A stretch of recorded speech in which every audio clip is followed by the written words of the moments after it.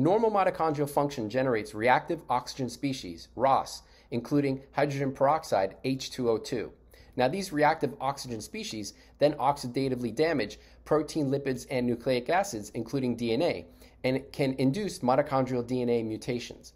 The net effect of this damage and increased mutation load is mitochondrial dysfunction. Unfortunately, mitochondrial dysfunction then imposes a vicious cycle on this process, leading to the generation of more ROS, more damage and mutations, and further decreased mitochondrial function. Now, the sum of this process contributes to aging. And to highlight this, uh, mitochondrial dysfunction is one of the nine hallmarks of aging.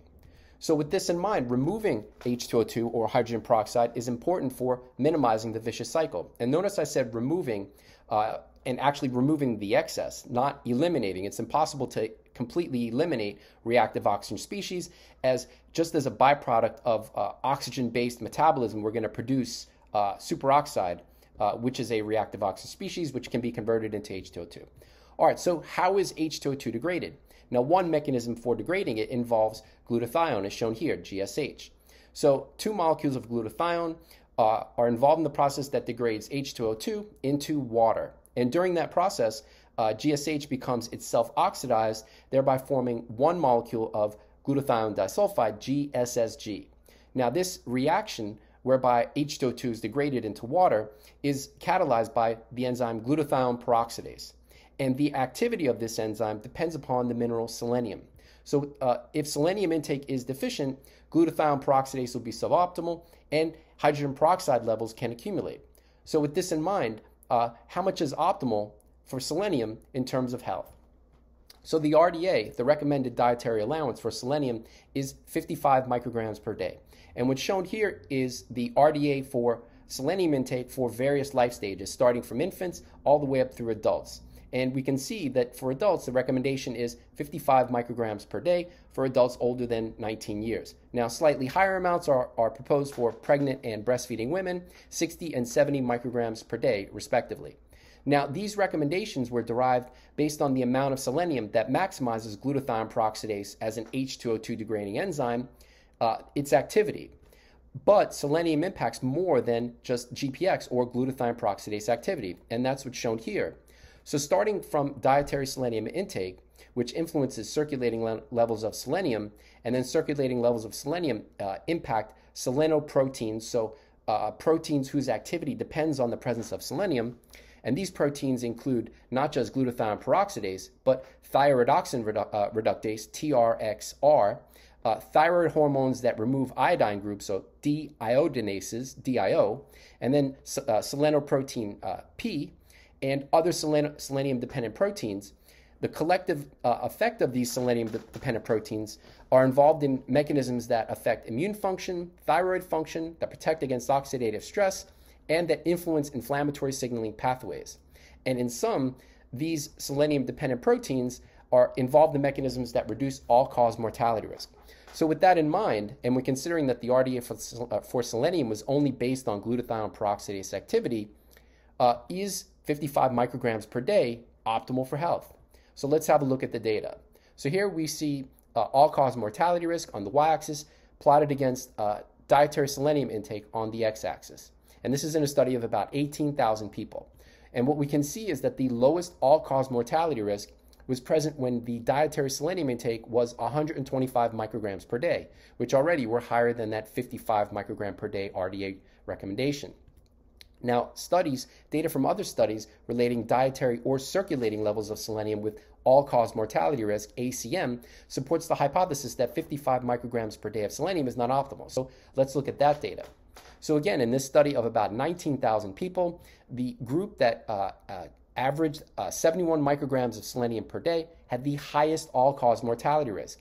And groups that had higher levels of selenium intake, 100 and 126 micrograms per day, had lower all cause mortality risk. And the group that had the lowest all cause mortality risk uh, uh, averaged a selenium intake of 183 micrograms per day. Now, dietary studies are, are interesting, but they can um, suffer from uh, underreporting or overreporting as people have to remember what they ate and how much of it. In contrast, circulating levels of selenium are a more objective measure of selenium intake because it, you know, people can say what they ate or what they didn't, but what's in the blood is directly related to how much they ate, how much selenium uh, they they took in, as we'll see in, in a little bit. So uh, what about the data for circulating levels of selenium with all-cause mortality risk? And that's what we can see here. Again, all-cause mortality risk on the y-axis plotted against the circulating selenium concentration on the x-axis. And this is a meta-analysis of six studies with uh, about 21,000 subjects. And what we can see is that the lowest all-cause mortality risk was present when the circulating selenium concentration was 1.3 micromoles per liter. Now, if we're going to convert this into a form that can uh, be correlated with the uh, dietary selenium intake, we need to convert this first into micrograms per liter. So one mole of selenium is 79 grams, and when you multiply 1.3 micromoles per liter times 79 grams per mole, we get 103 micrograms per liter. So with that in mind, what level of dietary selenium is correlated with 103 micrograms per liter of selenium in blood? And that's what we can derive here. So here we're looking at the correlation between serum selenium on the y-axis versus the dietary selenium intake on the x-axis in micrograms per day. And what we can see is first that the higher the selenium intake, the higher uh, that was correlated with a higher circulating level of selenium. All right, so then the big question is what does 103 uh, micrograms per liter in the previous meta-analysis data, what does that correlate to in terms of dietary intake? And based on extrapolation based on the trend line, we can say that that uh, amount, 103 micrograms per liter, cor- corresponds to 166 micrograms of selenium per day. Now, note that these data for the circulating uh, levels of selenium that were associated with lowest all-cause mortality risk are within that range uh, that was uh, identified in the dietary studies. So 125 to 183 micrograms per day in the dietary studies, 166 micrograms per day of selenium for the uh, circulating uh, selenium all cause mortality study. So then that also raises the question is there an upper limit? So this is data from a five year randomized controlled trial, RCT, where people were supplemented with a placebo, 100, 200, or 300 micrograms per day of selenium. And uh, uh, as I mentioned, this was this study was done for five years, so people got these supplements for five years. So first, obviously, the baseline mortality data, we can see they're obviously starting from the, the same risk of death from all, from all, for all causes. And then at the end of the five-year period, when looking at the brown line, the 300 micrograms per day of selenium group, we can see that there was some separation when compared with uh, both all three of the other groups, including the placebo, but that data wasn't uh, statistically significant. However, they followed these subjects for an additional 10 years after the five-year study, so now it's a 15-year study. And we can see that the group that had 300 micrograms, that was uh, uh, uh, consuming, that was supplemented with 300 micrograms per day of selenium, now had a significantly increased all-cause mortality risk when compared with placebo. So the authors of this study rationalized that selenium toxicity may have been induced because of the 300 microgram per day dose within the first five years, and then that persisted for 10 years after the study concluded. Uh, so uh, these data collectively uh, suggest that 200 micrograms per day of selenium may be an upper limit, but definitely, or at least not 300 micrograms per day, as there may be some increased all-cause mortality risk with that, associated with that. So with this in mind, what's my data?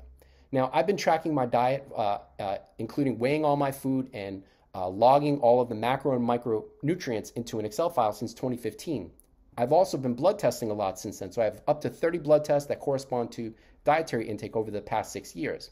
And when I look for correlations between my selenium intake with um, biomarkers, you know, blood-based biomarkers that are found, found on the standard chemistry panel uh, and uh, uh, CBC, the complete blood count, and also things like homocysteine, C-reactive protein, and lipoprotein A, uh, we, we can see that uh, when my selenium intake is higher than 200 micrograms per day, it's correlated with many biomarkers going in the wrong direction. So I'm just going to illustrate a few of them uh, here. So first, uric acid versus my average daily selenium intake. Uh, we can see that the higher my average daily selenium intake, the higher my uric acid level. Uh, so what about this 200 microgram cutoff? So we can see that as my selenium intake goes past that 200 microgram cutoff, uric acid is uh, increasing. And note that this is a significant correlation based on the p-value. Now, I haven't made a video about this yet, but higher levels of uh, uric acid are found during aging. They increase during aging, and there's a U-shaped association with all-cause mortality risk. So very low levels, of which my data is not in that range, but also higher, relatively higher levels are associated with an increased uh, uh, all-cause mortality risk. So with the higher selenium intake, that's cor- correlated with uric acid going in the wrong direction. And I'll link to those studies for uric acid in the uh, video's description if you're interested. Now, other biomarkers also are going in the wrong direction with higher selenium intakes, greater than 200 micrograms per day. And that's what we can see here. So when I put the black line up right at that 200 microgram uh, cutoff, uh, we can see that my RDW, so red blood cell distribution width, is uh, cor- uh, it's correlated with an increase um, for a, the higher selenium intake. Now, uh, I have a video on this too, and for the other, next two or three biomarkers, if you're interested in that, uh, in the, the, the, data for how they change during aging and all-cause mortality risk, I'll put them in the right corner so you can uh, check those out. But for this, RDW is going in the wrong direction. We, lower values are found in youth and are associated with a, a lower all-cause mortality risk. So with this, it looks like the higher my selenium intake past 200 micrograms per day, that's correlated with RDW going in the wrong direction. Similarly for HDL, which is shown here. So as we get past, as we get to that 200 microgram cutoff, we can see that that's correlated with lower HDL. And I, as I mentioned, I have a video on HDL. Values uh, uh, in the 50 to 60 range are uh, proposed to be optimal for men. So uh, actually, that that the as I go towards 170 or so for selenium, that seems to be correlated with relatively higher HDL. Whereas as I get past 200, it's going in the wrong direction towards lower HDL. Now I didn't put up uh, uh, any pictures for this, but also alkaline phosphatase. We see a, po- a, positive correlation, which means that the higher the selenium intake, that's correlated with a higher alkaline phosphatase, uh, which is also going in the wrong direction because higher al- uh, alkaline phosphatase increases during aging and higher levels are associated with an increased all-cause mortality risk. So I've got four biomarkers that suggest higher uh, selenium intakes higher than 200 micrograms per day may be bad for health. Now, interestingly, there's one that seems to be going in the right direction, and that's glucose. So as we can see, as my selenium intake gets past about 200 micrograms per day, my glucose levels are going down or correlated with going down. And glucose increases during aging, and higher levels of glucose are associated with an increased all-cause mortality risk. So this was uh, this data would suggest that higher selenium it may be uh, sending glucose in the right direction by whatever the mechanism. So I didn't only look at these five biomarkers. I also compared uh, the um, other these other biomarkers that I've listed here, 23 other biomarkers. Um, most of them I have up to 30 blood tests, but some of them I have less. Uh, 14 data points, including uh, C-reactive protein, homocysteine, lipoprotein A. Uh, but note that none of the, these 23 biomarkers were significantly correlated with my selenium intake.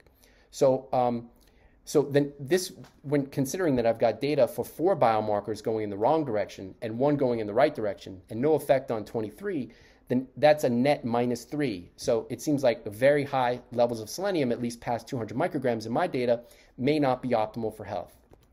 So uh, last but not least, uh, and many of you may already know this, which foods are selenium rich? So Brazil nuts are the uh, best source of selenium. Um, one gram of Brazil nuts contains about uh, 19 micrograms. Uh, so with that in mind, I eat uh, one large Brazil nut, about five grams per day, which gets me about 96 micrograms per day from Brazil nuts.